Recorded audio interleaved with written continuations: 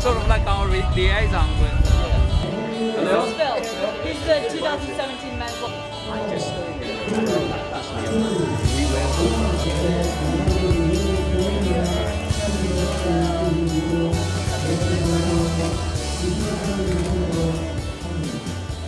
All right.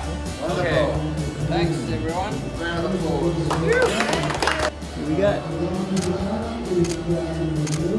Great to see um, your delegation attend the um, uh, Awards banquet um, on Saturday night, and uh, we really look forward to a long, rewarding relationship with, uh, with you. So thank you so much. Thank you. I think it's a very exciting day for me and our delegation. Uh, I'm excited to sign this letter of intent with the World Surf League uh, as we are going to work together uh, to host the 2017 and 2018 World Longboard uh, Championships in Taitung.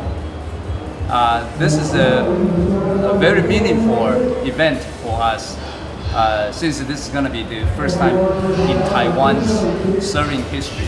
Judges, we have two local judges in participating in our Hot balloon. riding of our hot air So beautiful. My friend, um, my friend from home. So, yeah, it's cool. But, well, Yeah, and he's been to Taiwan every year since then. 我们刚刚跟啊、世界冲浪联盟 WSL 啊、 的负责人，还有很多的这个他们的干部啊，呃，大家共同见证之下签署了呃一个合作的意向书。那么今年啊、的全世界的呃长板的呃总冠军的比赛啊、将在台东的金樽来举办。这个是呃让我们非常兴奋的一件事情。